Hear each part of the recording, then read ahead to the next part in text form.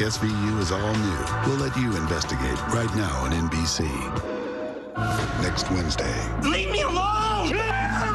What happens in Ward 6 A girl was attacked. is hard to prove. Is his word against hers? She's crazy. She made up the whole thing. It's going to be hard to get anybody to believe her, which makes her the perfect target. He will never touch you again. You can't promise me that. He's sane. And I'm not. SVU next Wednesday, 10, 9 Central on NBC.